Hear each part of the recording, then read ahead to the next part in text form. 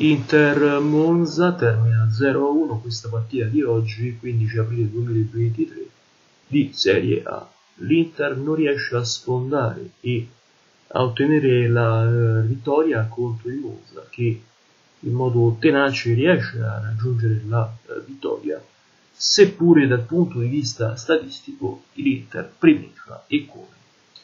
Andiamo infatti a vedere un attimo in maniera assuntiva i punti o meglio le statistiche di questa partita per poi passare a tracciare un bilancio sintetico ma efficace attraverso il riepilogo del gol che c'è stato. Innanzitutto abbiamo un possesso di palla maggiore sì dell'Inter rispetto al Monza, ma abbiamo molti più passaggi dell'Inter rispetto, pensate, al Monza. E per quanto riguarda la precisione dei passaggi è di gran lunga superiore a quella dell'Inter rispetto al Monza. Conseguentemente ne viene fuori che sulla carta, almeno sulla carta, le statistiche parlano chiaro. Lo stile di gioco è stato il migliore, quello dell'Inter rispetto al Monza.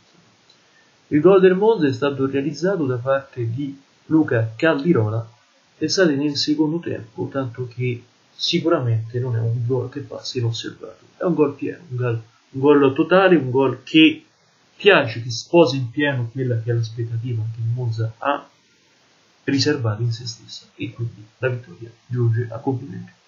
Complimenti dunque al Monza, il video termina qua, iscrivetevi, commentate, ciao da Naratore Italiano.